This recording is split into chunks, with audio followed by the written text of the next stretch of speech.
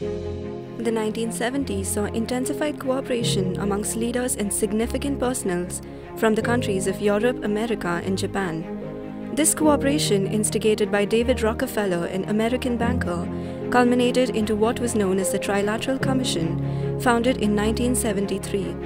He saw the importance of including Japan and European nations in global dialogue to push the world forward and into the 21st century. The Commission members included everyone from the United States Secretary of Defense to the CEOs of the largest media houses of the participating nations. An international relations textbook would define world order as the distribution of power among world powers. This redistribution of power would be inevitable with the current global scenario. One of the biggest contributors to this being climate change. With mass migration, depletion of resources, and unpredictable weather, there are bound to be multiple political and economic repercussions. Colonization of Mars and rapid advancement in space tourism in an attempt to be a multiplanetary species will also be a defining factor for the New World Order.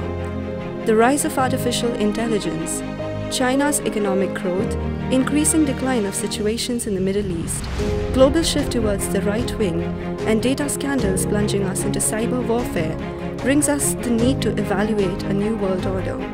The committee will analyze threats and opportunities of the same and hence consequentially shall also want to define the current world order as it stands today.